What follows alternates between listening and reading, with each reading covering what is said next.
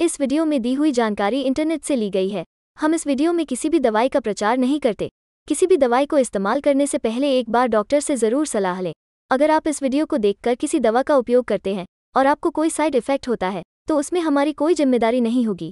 टेक्विडो forte solution का उपयोग एक सिमा, यानी कि एटोपिक डर्मेटाइटिस के इलाज के लिए किया जाता है।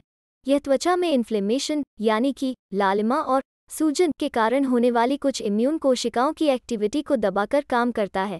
यह खुजली से राहत देता है और एटोपिक डर्मेटाइटिस में होने वाले रैशेज में सुधार करता है। टेक्विडो फोर्टे सोल्यूशन बाहरी अंगों के लिए इस्तेमाल के लिए है। इसे प्रभावित अंग पर दिन में दो चार बार इस्तेमाल करना चाहिए या डॉक्टर द्वारा दी गई सलाह अनुसार इसका इस्तेमाल करना चाहिए। यह धीरे धीरे और समान रूप से त्वचा पर लगाया जाना चाहिए जब तक यह रब न हो जाए।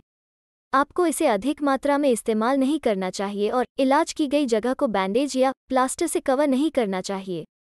अगर दो सप्ताह के इलाज के बाद भी स्थिति में कोई सुधार नहीं आता है या यह और भी खराब हो जाती है तो आपको अपने डॉक्टर को सूचित करना चाहिए।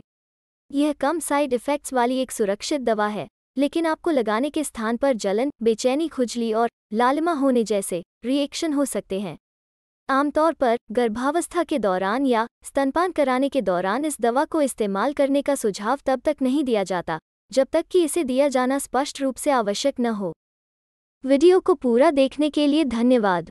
अगर आपको वीडियो अच्छी लगी हो तो वीडियो को लाइक करें, और साथ ही हमारे चैनल को सब्सक्राइब करके नोटिफिकेशन बेल आइकॉन पर क्लिक करें, और ऑल नोटिफिकेशन को क्लिक करें। धन्यवाद।